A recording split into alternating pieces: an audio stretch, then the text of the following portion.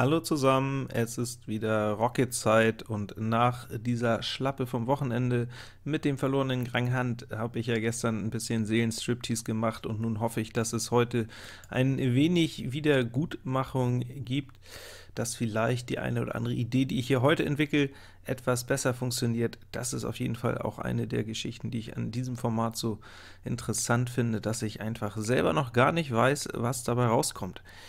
Ich kann natürlich nur sagen, von meiner persönlichen Tagesform her, ich bin heute ja, so ein bisschen vielleicht unterschwellig aggressiv, also ich habe Lust, heute ein bisschen was zu spielen hier, mir nicht so einfach die Butter vom Brot nehmen zu lassen, und wenn es dann auch das ein oder andere Beatspiel heißt, also zumindest, ja, muss die Karte auch für so einen Plan ein wenig mitspielen, und dann fangen wir jetzt mal das erste Spiel an. So, 4 Trumpf dagegen, es heißt immer schnell, spiel dann deine eigenen Vollen, aber so ganz überzeugt bin ich nicht. Es kann auch schnell mal sein, dass der Spieler gerade da die 10 zu dritt hat oder den König zu dritt und man es ihm dann sehr leicht macht. Ah, der erste Stich sagt mir aber doch, es wäre vielleicht mal wieder pfiffiger gewesen. Jetzt habe ich zwar den vollen bei meinem Partner gefunden, aber doch Pik im Abtrag. Und was macht er denn jetzt? Wie kommt er denn jetzt auf Karo? Ich meine, auf Farbe A wird Farbe B abgeschmissen, dann muss doch jetzt Farbe C, sprich Karo, die Hand voll haben es sei denn, er hat einen sogenannten asynchronen Abwurf getätigt, aber das ist unwahrscheinlich. Jetzt haut mein Partner hier auch noch die Karo Dame mit ins Geschäft, wo schon alles klar war.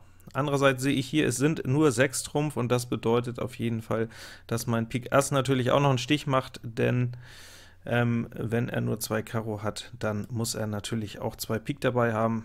Alles reine Mathematik, also das Spiel kann er nicht gewinnen. Ich mache noch zwei Trumpfstiche und das Pik Ass das wird also ganz lässig, nicht mal Herz 10 ist gedrückt, also alles ganz äh, ja, problemlos hier, obwohl mein Partner, sagen wir mal, noch äh, ihm die Karo 10 freigespielt hat. Das war also kein gutes Spiel, das war eine Kirsche, und die haben wir dahin geschickt, wo die Kirschen zu Hause sind, und da soll Spieler 3 dann erstmal diese Minuspunkte wieder aufholen.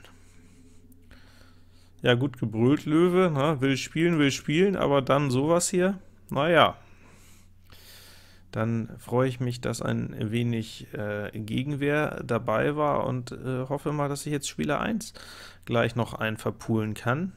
Wie gesagt, es kitzelt mich heute so ein bisschen, und heute spucke ich dann auch mal in die Hände und lach mir eins ins Fäustchen. Da wird schon mal das erste Mal umgedrückt, und das kann doch nur bedeuten, äh, Grang, dass dieser Grang auf ganz, ganz dünnen Füßen steht. Aber mal schauen.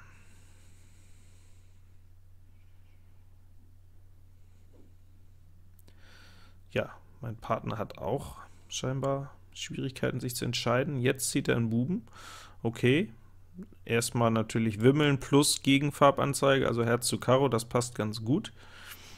Ansonsten Pik König wäre auch eine Karte, die mich anlacht, aber das hätte im Zweifel die falsche Farbe angezeigt, also lieber so rum. So, 29, und ich glaube, mein Partner hat noch ein Ass und äh, einen Buben, den letzten Buben, und dann wird er jetzt gleich Kreuz 10 stechen, und dann wird es natürlich ganz... Nee, Kreuz 10 sticht er noch nicht, sticht er dafür Herz Ass? Auch noch nicht. Ähm, die Hauptsache, er wirft jetzt keine Bilder mehr dazu denn ich habe Rest in dem Moment, wo er jetzt mal sticht. Ja, ich gehe davon aus, mein Partner wird noch den Buben haben und damit, ja, und da ist das Spiel doch gewonnen. Zu viele Bilder, die der Spieler bekommen hat. Pik 10 hat ihm hier gelangt. Ähm, ja, im Prinzip der Doppelläufer in Kreuz ist es gewesen. Hätte mein Partner also wahrscheinlich schon die Pik 10 gar nicht mehr anbieten dürfen, sondern äh, in dem Fall tatsächlich idealerweise nach Kreuz Buben, dann Karo Buben wieder eingespielt. Und dann kann der Spieler diesen vollen nicht schnappen, er kann dann nur seine beiden Kreuzen hinziehen und das Herz Ass, und dann ist Feierabend, und Pik 10 wäre auch zu uns gewandert.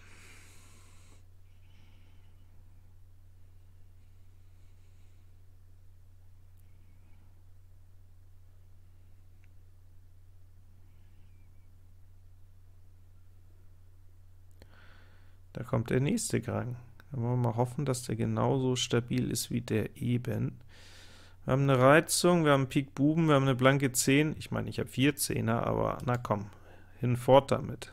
Na, ich habe es fast befürchtet. Diesmal ist der Grang mit 2 ganz offenbar. Buben sind raus. Gut, meine 10 wäre wohl sowieso hier ein Opfer des Kreuz Asses geworden.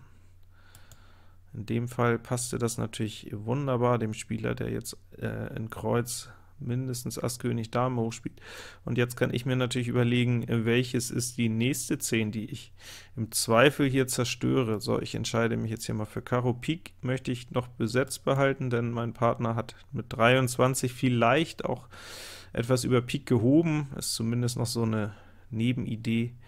Deswegen entscheide ich mich hier dafür, nun Karo wegzuschmeißen, und naja, ob das jetzt gut oder schlecht war, der Spieler hat ja alle Asse. Das werden wir jetzt noch sehen. Jetzt hat er noch Karo da. Und da bleiben wir natürlich Schneider. Ich hatte die ganzen vollen und musste davon zwei abgeben. Das war jetzt zu wenig. Mein Partner hatte gar keinen vollen im Blatt. Auch mal interessant.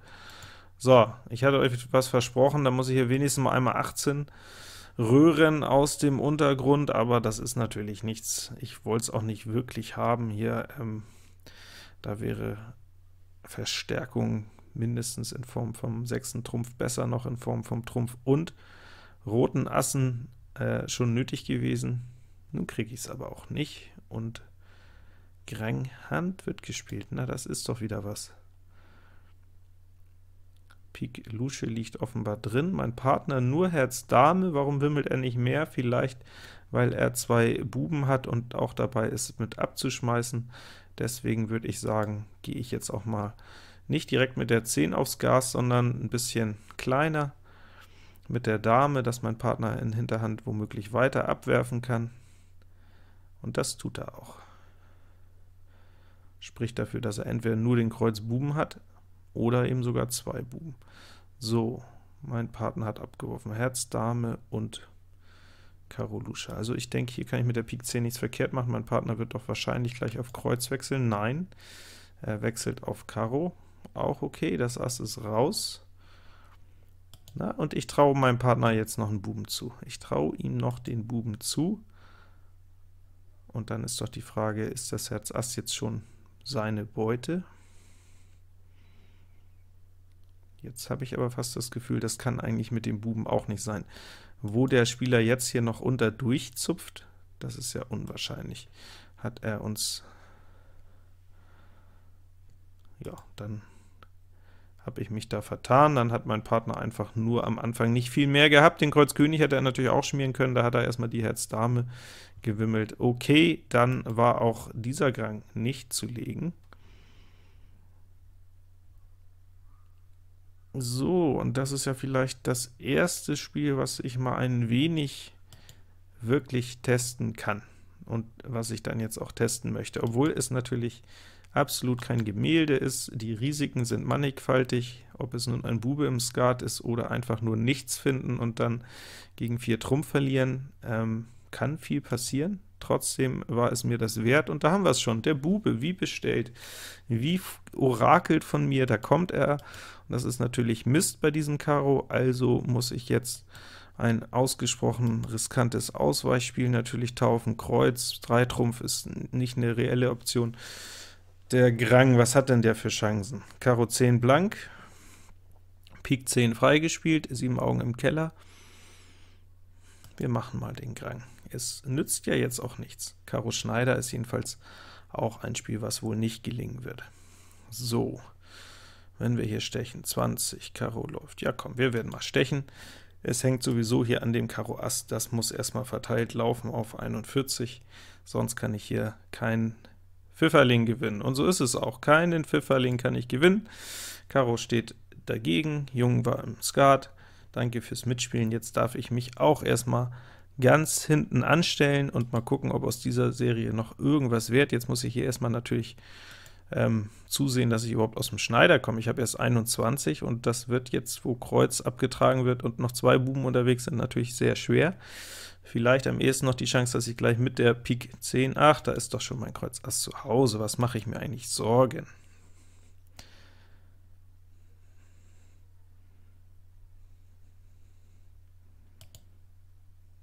Ja, ja, ja, nehmen Sie doch, nehmen Sie doch. Hier noch einen Stich mache ich sogar. Also Schneider frei, dann doch kein Thema, trotzdem natürlich viel zu wenig.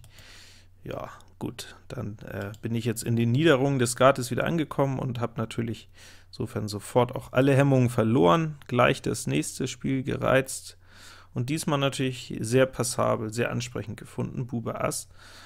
Jetzt ist es natürlich in Mittelhand immer noch kein guter Grang. Da könnte man 13 drücken, aber nein, jetzt wollen wir ein bisschen erstmal versuchen, wieder den Anschlusstreffer, den Ehrentreffer zu landen, also ganz äh, solide gedrückt, 10 Augen, eine Farbe raus, Karo wird Trumpf, der Sechstrümpfer, und jetzt kommt schon Herz auf, ist die unangenehmste Eröffnung für mich. Ähm, also wollen wir mal zusehen, dass wir den erstmal gewinnen. So, gegen 4 Herz äh, ist die Herz-Dame gut, auch gegen die blanke 9 in Hinterhand. Ähm, gegen blanken König oder 10 oder sowas ist äh, die 7 natürlich optimal, wenn hinten gar keiner ist, ähm, auf jeden Fall schnippeln, aber ich glaube, der wird wohl nur aus dem Drilling sein. Ich denke mal, das ist hier die beste Idee, hinten fällt die 10, okay.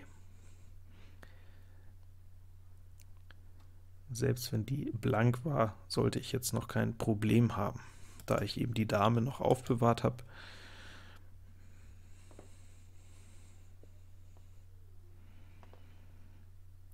Stehe ich jetzt noch mit Ass Dame gegen Lusche König, wenn also, oh, das ist doch nicht zu fassen. 5 Trumpf dagegen hier, ohne irgendeine Vorwarnung, und dann wird der Herz wahrscheinlich ja auch, oder zumindest mutmaßlich sogar blank aufgeschlagen worden sein.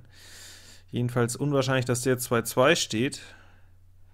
Das ist ja manchmal nicht zu glauben. Manchmal ist es nicht zu glauben, abzuschmeißen habe ich natürlich auch nicht.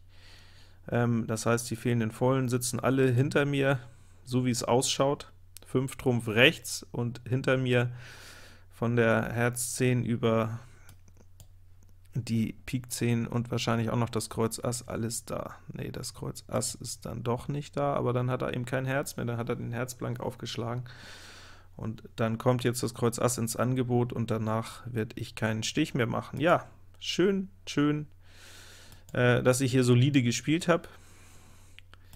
Gegen so eine Verteilung, da kämpfen die Götter ja manchmal vergebens, und wenn es schon die Götter sind, dann werde ich erst recht scheitern. Also, solide gespielt und trotzdem noch wieder einen auf die Rübe gekriegt. Ja, Skat, ich liebe es, ich liebe es wirklich. Und manchmal könnte ich natürlich auch ins Mikrofon beißen oder sonst wo noch hinbeißen. Die Tischkante sieht ja auch schon so ein wenig angenagt aus.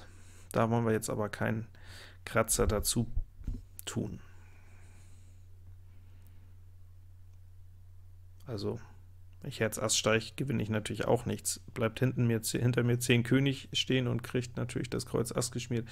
Also unfassbar, dass dieses Spiel von Anfang an gar nicht zu gewinnen war. Vielleicht wäre doch nur der Grang gegangen. So, neues Spiel, neues Glück, 22er Reizung.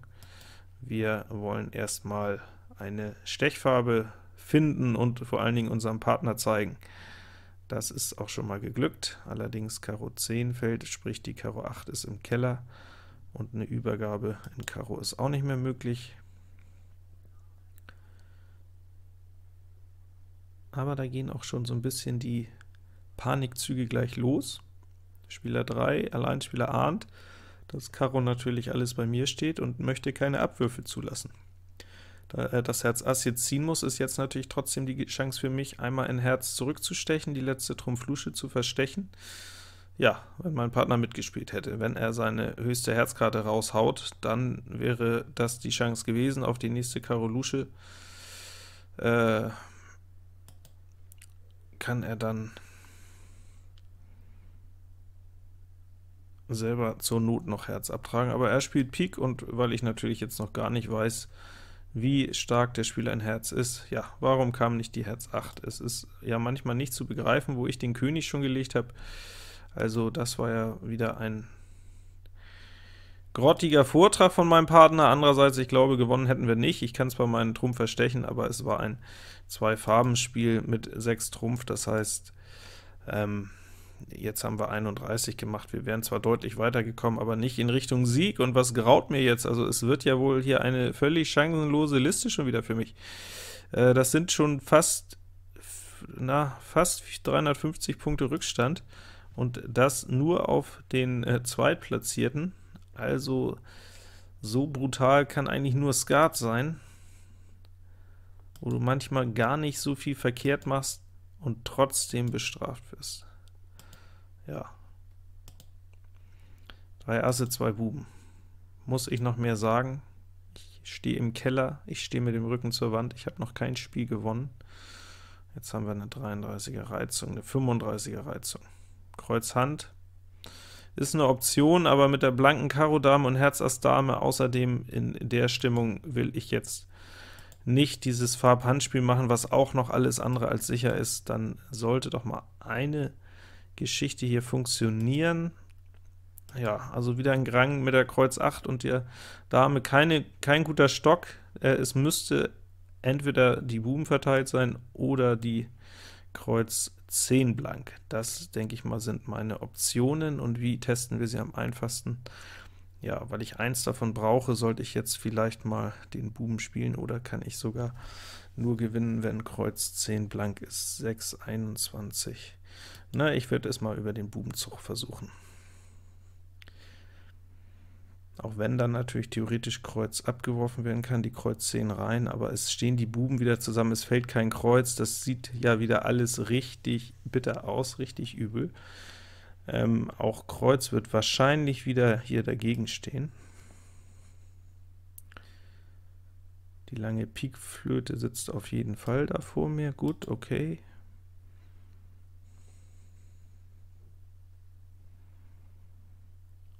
Das ist dann zu wenig, die Null Augen werde ich hier nicht stechen, aber die Vollen gehen auch wieder alle hinten rein, als gäbe es keinen Morgen mehr. Also die Karte ist heute angemischt für mich, ihr Lieben. Und da geht endlich die Kreuz 10. Logisch, dass der König da auch noch sitzt bei Spieler 3. Das ist ja klar. Den wird er jetzt drauflegen, und dann bleibt die Frage, ob ich hier in Herz überhaupt noch mal was mache. Nein, Karo Ass ist auch noch da, also komplette Gegenkarte schon wieder. Und hier gerade im letzten Stich noch mal wieder äh, auf 48 gehüpft. 0 zu 3, also es läuft bei mir, und ja, sollen wir denn jetzt überhaupt noch? Es ist ein Spiel, sollen wir denn überhaupt noch einen? Na komm, einen versuchen wir hier noch. Manchmal ist es ja, hält es ja im Kopf nicht aus, wir wollen auch wenigstens, wie ist beim letzten Mal ausgegangen? 0 zu 4 sogar, ne? Wir könnten doch hier noch mal den Ehrentreffer vielleicht erzielen diesmal. Es muss ja nicht wieder 0 zu 4 werden. 14 im Keller, 6 Trumpf bei 18, mit Ass 10 an der Seite. Normal würde ich sagen, gar kein Problem. Am heutigen Tag schauen wir schon mal. Ich kriege ja hier schon Paranoia, dass schon wieder übergestochen wird, also spare ich schon mal die Trumpf 10. Und dafür müsste ich sie dann jetzt investieren, oder auch nicht. Nein, ich tue es nicht, denn ich bin doch immer noch äh, froher Hoffnung, dass nicht wieder alle Trümpfe dagegen stehen. Und diesmal sitzt Trumpf auch 3-2. Ein Trumpf fehlt noch, und da, da kommt er schon.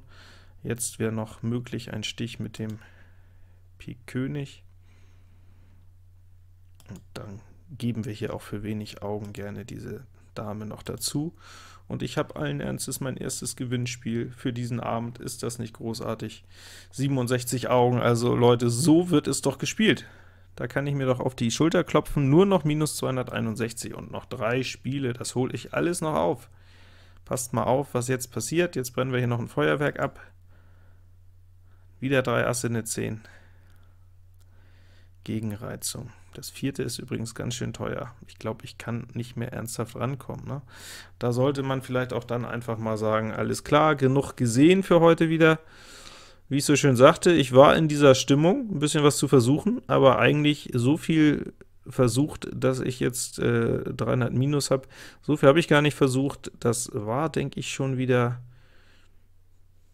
ja, ich gucke mal nach oben. Was will mir im Moment die Skatgeister, was wollen sie mir im Moment sagen?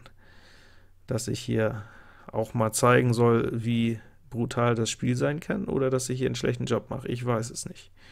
Das werde ich wohl in den nächsten Tagen mir noch mal durch den Kopf gehen lassen. So, jetzt haben wir einen Pik.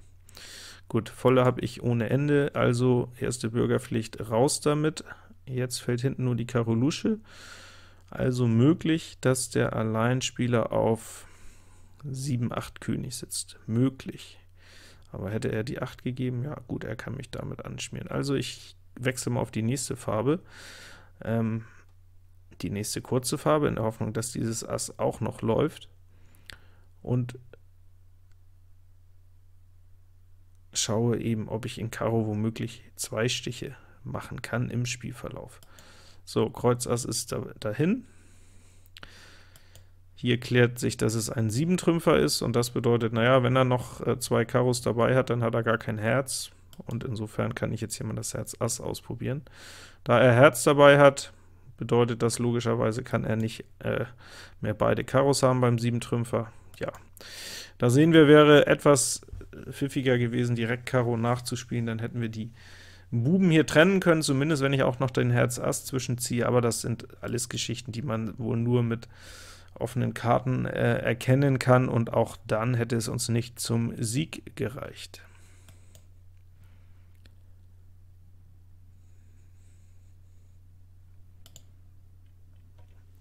Schön. Schön, wenn der Schmerz nachlässt. Kennt ihr das Gefühl, wenn es so langsam ausklingt und man weiß, jetzt tut sich da auch nichts mehr?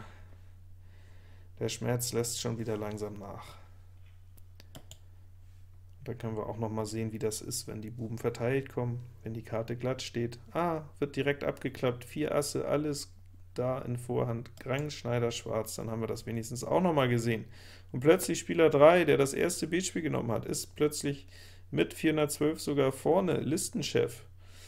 Der Vorsprung beträgt gerade mal schlappe 670 Punkte, Anders als Spieler 1, der hat mir erst 665 abgenommen, also ja, da sage ich nichts mehr zu. Ich spare diesmal das vierte potenziell Platte und sage mal Spieler 1 und Spieler 3.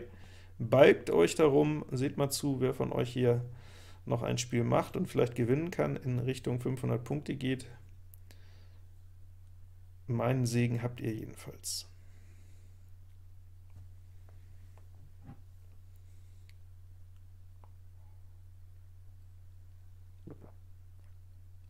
aber eine leichte Geburt ist es auch noch nicht. Spieler 3 hat sich schon ein wenig gequält, hier das Spiel abzugeben, so scheint es. Und jetzt gucken wir mal, wir zumindest auch noch mal ein weiteres Spiel auf zur Strecke bringen. So, 24, nur ein Trumpf. Ich denke, hier ist es absolut korrekt, mal unter dem Kreuz Ass zu zaubern. Ja, Kreuz 10 beim Spieler, hoffentlich nicht blank, dann hätte er mich schön angeschmiert. Ähm, ja, der kann ja nicht an sich Kreuz 10 König haben und noch so viel Schwäche in Pik, da kann ich mal hier den ersten vollen fallen lassen. Kreuzstich sollte ich eben auch noch machen. Gut, es sei denn, es wird jetzt ähm, etwa abgeworfen, aber das möchte der Alleinspieler hier auch noch nicht. Ja, der sticht, dann zieht er den Doppelläufer, kommt, dann zieht er die Karo 8, da brauchen wir noch nichts reinlegen. Doch, mein Partner ist jetzt schon dabei, alles abzuziehen. Ja, dann kann das Kreuz Ass auch rein, denn den Stich, der verbleibt bei meinem Partner. Ja, bitteres Ende hier für Spieler 1, der lag lange mit gut gestarteten äh, Spielen weit vorne, hat hinten raus aber auch einsehen müssen, mit 400 nützt ihm noch nichts, hat noch einen versucht, der ging schief, und so hat hier am Ende Spieler 3 das Rennen gemacht. Wir haben 5 Beatspiele gesehen, das ist doch von 12 Gesamtspielen eine ganz gute Ausbeute, also das Gegenspiel stimmte, auch die Gegenverteilung stimmten, und ja, das Einzige, was ein bisschen für mich persönlich ernüchternd ist, es stehen hier wieder minus 201 Spielpunkte, 1 zu 3, also ähm, ja, ich weiß gar nicht, äh, was ich euch sagen soll. Ich versuche es jetzt mal nicht, das schön zu reden. Ich lasse es einfach so stehen und wünsche euch eine etwas gelungenere Skatwoche. In dem Sinne, schönen Abend noch und gut Blatt.